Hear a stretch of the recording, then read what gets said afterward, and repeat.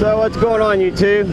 Uh, I had a subscriber uh, do a vlog recently about lane splitting uh, because you know it's illegal here in the United States in every state basically but the state of California. Sometimes I get a good feeling. Cowabunga 636 here.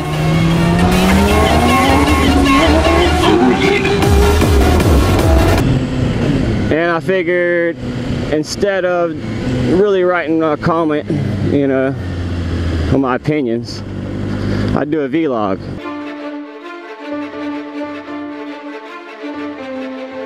Like a video response, but um, like I'll, I'll be all for lane splitting because of shit like this right here. Like this old woman behind me at a red light. Like I don't want somebody to come up and fucking smash into me.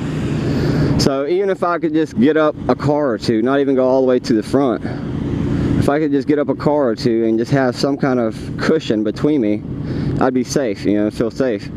Um, you know, if they change the laws, you know, I don't think it'd be too chaotic um, as long as they had like, you know, actual limits, you know, like if traffic's moving like five, 10 mile an hour, yeah, you should be able to lane split, you know, not at 70 or nothing, because that's just stupid.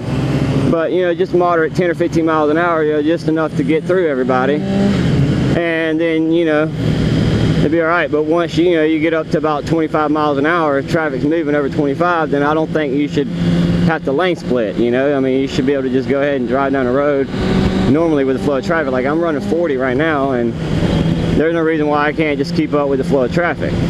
I mean, yeah, there's a lot of people that if they make it legal, they're just gonna be out there just fucking going crazy.